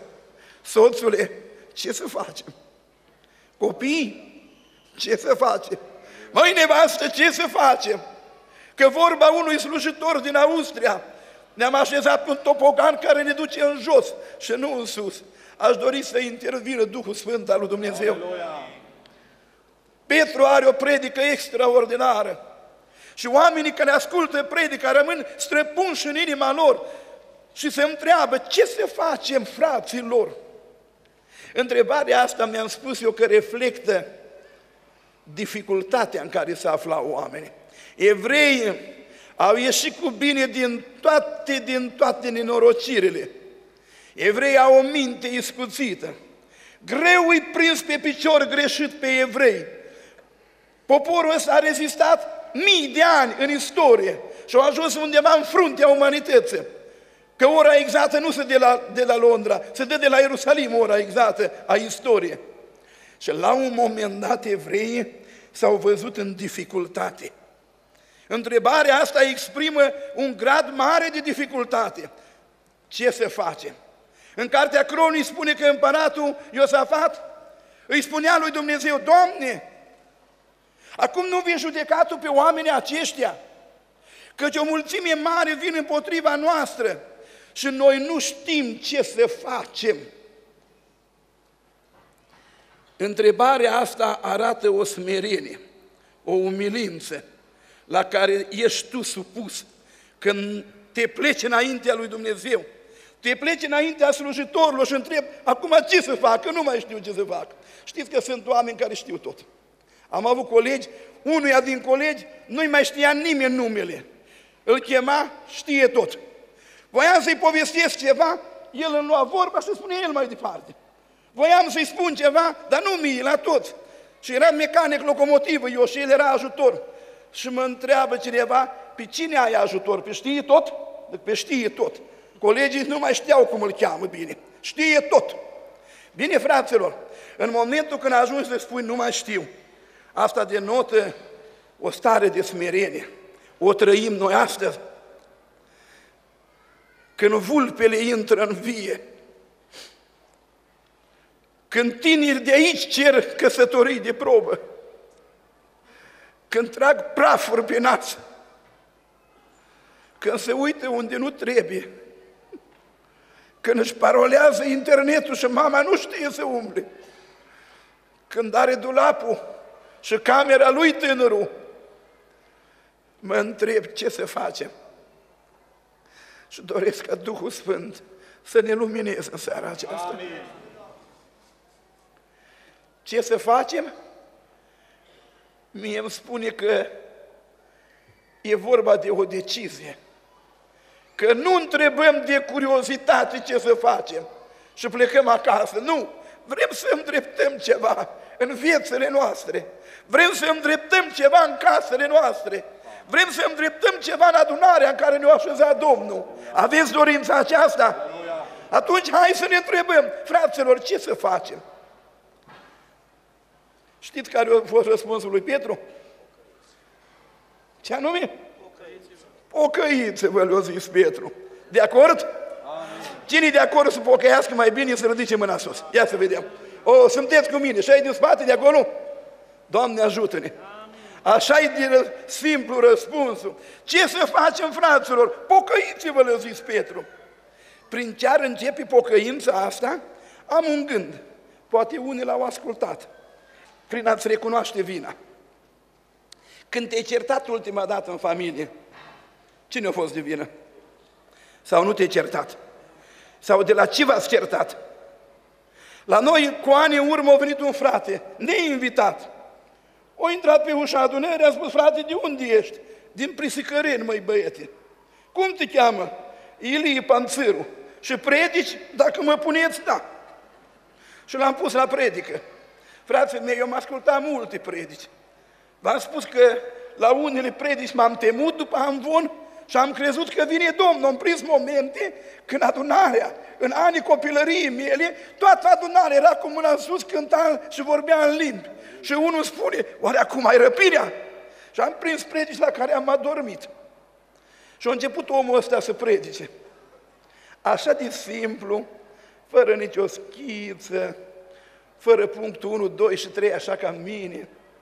Și îmi spunea el așa, fraților, eu după ce m-am căsătorit și am luat fata prezbitelor din Prisicăreni, am făcut nuntă eu cu un cumnat de-al meu, că el erau două surori. La două săptămâni, la ora trei noapte, au venit ca ghebiște cu un tabel. Mi-o luat nevasta din pat, o suit în lada unui camion și o dus în Siberia. Și mi-a strigat nevasta, Ilie, adă-mi o haină mai groasă, că am auzit că în Siberia e frig. Și am pus o haină groasă și n-am putut să-i o duc, că era cordon de caghebiști. Și am pus un petroi și am aruncat așa în ladă. Și când se plece mașina, am fugit și am spus, luați-mă și pe mine și eu spocăit. S-a uitat pe tabel și nu eram. Și când a demarat camionul, m-am prins de, de lada camionului și mi-a lovit cu patru arme peste dege până mi-a zdrelit degetele. Și spunea, fraților, împreună cu cumnatul meu am lucrat un an și ceva prin sat, am strâns banii să mă duc în Siberia la nevastă, că eram căsătorit și am jurat credință. Și îmi spuneau oamenii din sat, băi, voi sunteți băieți tineri, voi știți unde e Siberia? Nu mai sunt fete aici în sat? Dar el îmi spunea, dar eu am spus înaintea lui Dumnezeu că îi voi fi credincios. Și îmi spunea că după vreo 2 sau 3 ani, din tren în tren, pe jos, flămând, o ajuns în Siberia. Și când o soră i-a spus neveste, l-am văzut pe Ilia tău în gară. Ea a spus, nu se poate. Și spune, m-am dus la soția mea, am avut mulți copii. Primul copil a murit acolo, vreo 6 sau 800 de litri de motorină am consumat și pot să-i fac mormânt. Și am rămas credincios nevestei și îmi spunea el, și nu m-am certat niciodată. Frații mei, nu știu ce avea omul ăsta în predică, plângea în hohote adunarea. Și el se oprea, se uita la noi și spunea, dar voi de la ce vă certați? Și se uita așa la noi, dar voi de la ce vă certați? Chiar de la cine certăm noi acasă? Că doar nu suntem vinovați cu nimic. Și eu i-am spus, vorba fratului Romi, frate Ilie, nu mai vii la mine, frate Ilie, până nu vii cu nevasta. Și eram aut acasă, făceam treaba, văd la poartă un bătrân și o bătrână cu o servetă în mână. Am venit, măi, că m-ai chemat cu nevasta. La mine soția este foarte bolnavă, mai ales când face deplăsări, nu poate. Spune, lasă-mă acasă și mă rog, îmi pregătește valiza, haine, nu mă scoate că mă omor dacă mă scoți. Și m-a rugat Domnul și tot așa. Ei, și am stat de vorbă cu oamenii ăștia și m-au învățat așa pocăința. Dar eu mă întreb acum, noi când ne certăm, de la ce ne certăm? Știți când vorbeam eu odată de împresurarea Samarie, spuneam că acolo sunt patru categorii de oameni, nu repet predica pentru cei care m-au ascultat, dar prima categorie de oameni sunt aceia care atribuie vinovăția lor altora. Îi foamete, cineva a cumpărat un cap de măgar, mâncau găinați de porumbel, o mamă șofer copilul, fuge la împăratul Ioram, îi spune tragedia, împăratul rupe hainele și dă un verdict să mă pedepsească Dumnezeu dacă nu tai capul lui Elisei, fiul lui Șafat. Și întrebam atunci, vă întreb pe voi acum, era vinovat prorocul Domnului de foamea din Samaria? Nu, nu. Biblia spune că Ioram a făcut ce este rău înaintea Domnului, dar întotdeauna, deci și în casele noastre, a recunoaște o vinovăție este foarte greu. Mai degrabă o aruncăm asupra altuia ea e de vină. Odată am întrebat pe cineva, să vă spun din ce oraș? O familie după 30 de ani de căsătorie din orașul Viena, ați auzit de Viena, da? Mă, tu ți-ai cerut odată iertare la nevastă? Și el îmi spune, nu, dar nici n-am greșit niciodată. E așa de greu să ne recunoaștem vina, nu e așa? Frații mei, hai să identificăm când suntem vinovați, o spun. Și atunci, când eram eu copil, o predică la care n-am dormit. Predica un bătrân că într-o adunare, povestea e arhi bine cunoscută, într-o adunare erau mari probleme. Nu era har, nu era armonie, se învinuia unii pe alții și un bătrân pocăit s-a ridicat, a spus fraților, eu știu cine e vinovat aici în adunare, de tot rău care este, dar n-am curajul să-i spun numele, dar am să-i pun poza lui într-o cutie de carton la intrare. De seară veni și vi-l arăt. Și seara nu mai lipsă nimeni, rând la intrare. Toată lumea se uita în cutie. Și plecau în adunare așa de liniștiți, de pocăiți, că bătrânul în fundul cutiei a pus o oglindă. Și care cum intra, vedea vinovatul. Eu am predicat asta într-o adunare odată și când ieșeam afară cu păstorul, el pe hol avea o oglindă, dar eu nu mi-am dat seama. El se face ghibos, merge încet. Zic, ce mă, te dor spatele? Nu, nu vreau să văd vinovatul, spunea el. Frații mei, când vă certați, când aveți probleme acasă, când e furtună, recunoașteți vina. Niște oameni păgâni, fără să-L cunoască pe Jehova, fac totul să scape corabia de la naufragiu. Fac totul și nu reușesc. Strigă la Dumnezeu la Dumnezei, la zei, la ce aveau ei. Și la urmă vine la Iona, fiul lui Amitai, și îl întreabă ce să facem ca să scăpăm de furtună. Știi ce le spune prorocul? Luați-mă și aruncați-mă pe mine în mare și mare se va potoli, că știu că din vina mea se întâmplă acestea. Când ți-ai dat seama ultima dată că sunt probleme în casă din vina ta?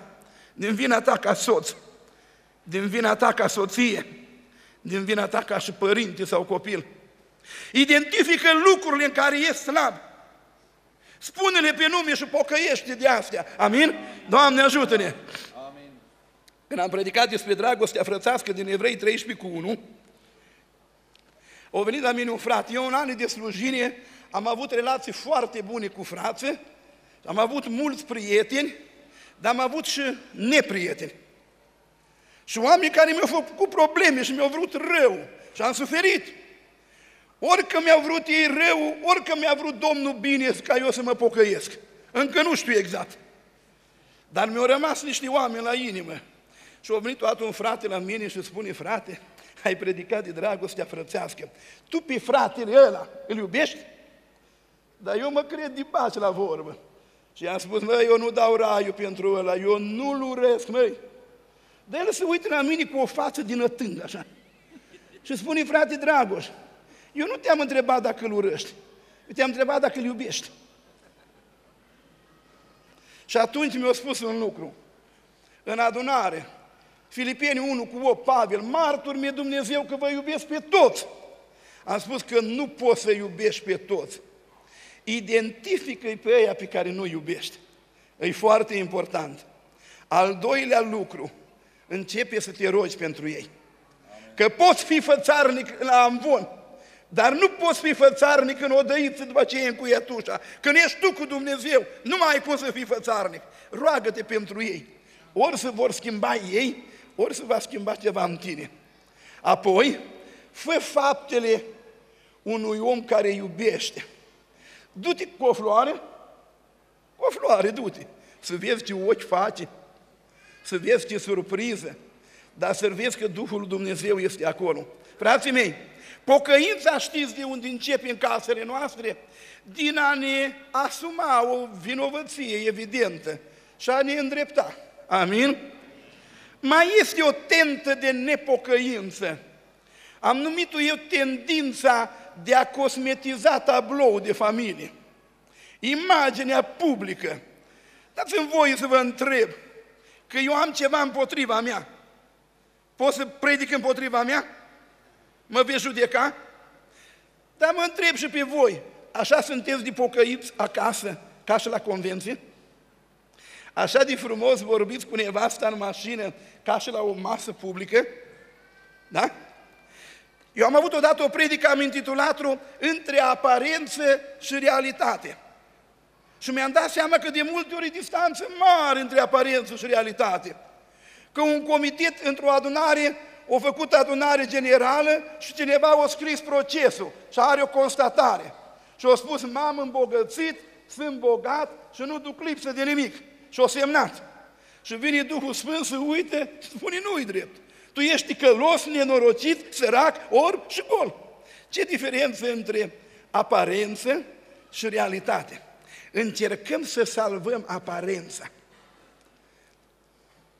Ne certăm acasă și vine fratele rom în vizită. Și îi zâmbim și îl punem la masă. Și după ce a ieșit pe poarta din o gradă, unde am rămas? Deci tu erai vivină, dar recunoști. Și continuăm. Și cosmetizăm așa tabloul ăsta și asta nu-i pocăință. Asta e un fel de fățărnicie.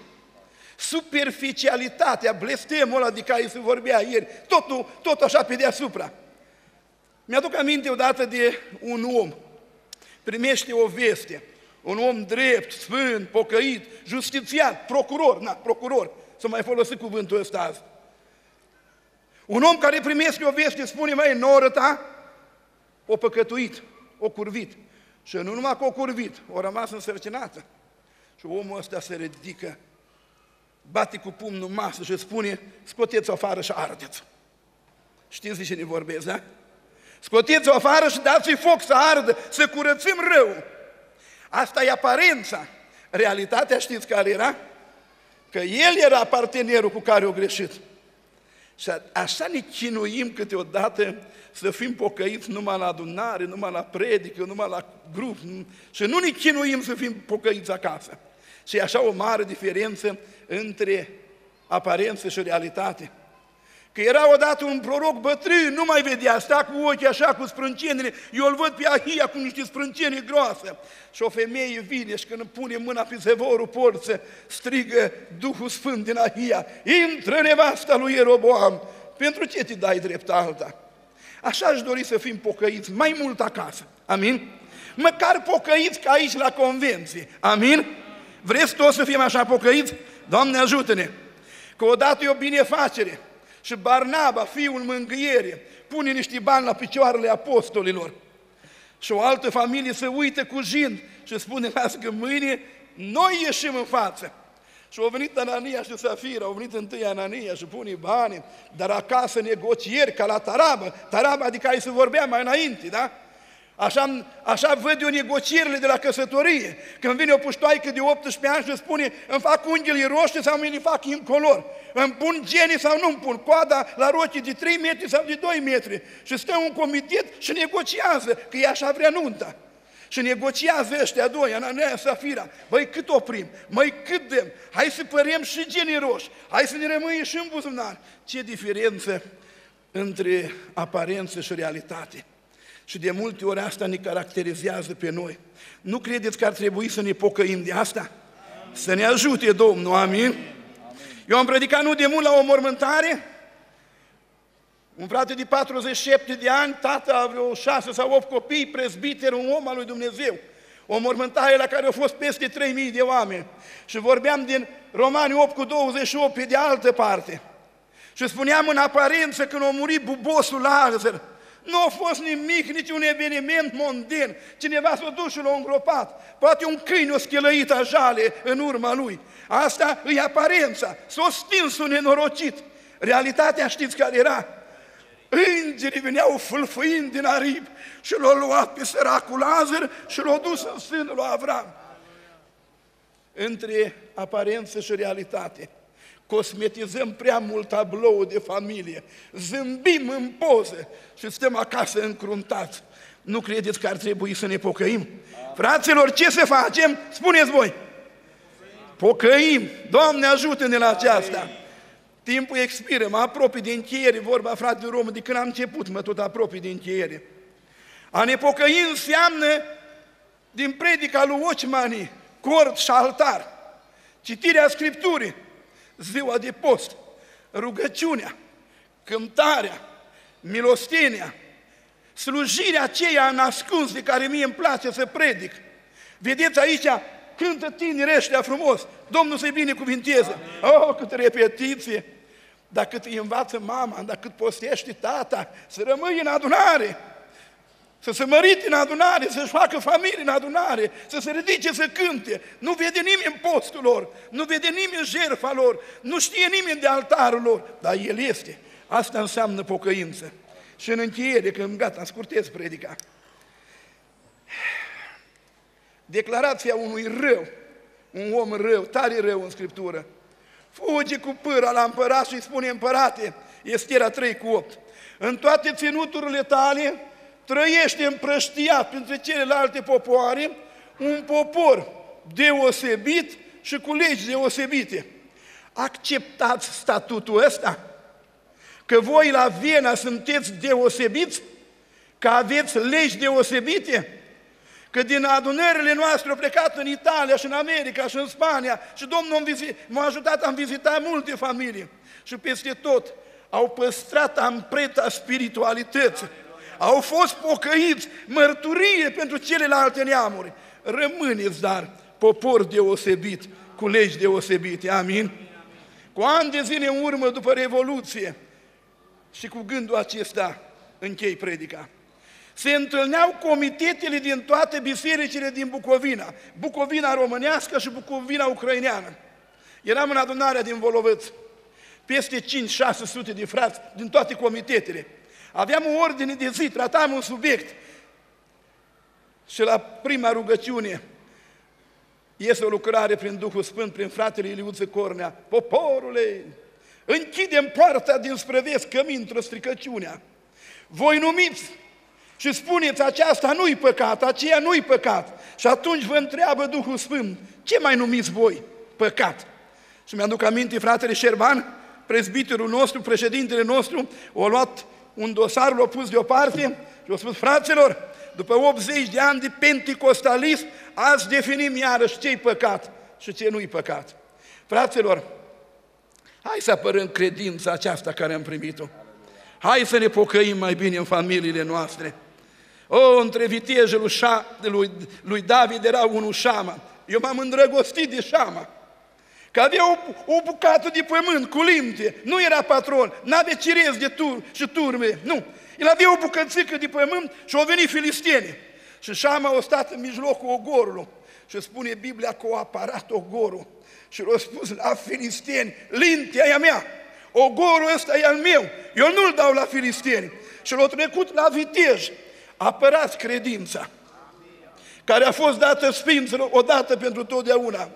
Apărați Evanghelia asta și apărați-vă pe voi și familiile voastre. Aș vrea în încheiere să ne ridicăm în picioare și să vă îndemn la o rugăciune. Rugați-vă pentru voi acum. Rugați-vă pentru casele voastre, pentru familiile voastre. Rugați-L pe Duhul Sfânt să ne lumineze, să vedem unde suntem vinovați, să ne putem pocăi, să ne recunoaștem și să ne pocăim, să plecăm mai buni de aici, să plecăm mai pocăiți de aici. Și într-o zi va fi o strângere mai mare ca asta, când toți oamenii lui Dumnezeu, toți răscumpărați Domnului, ne-om întâlni acasă.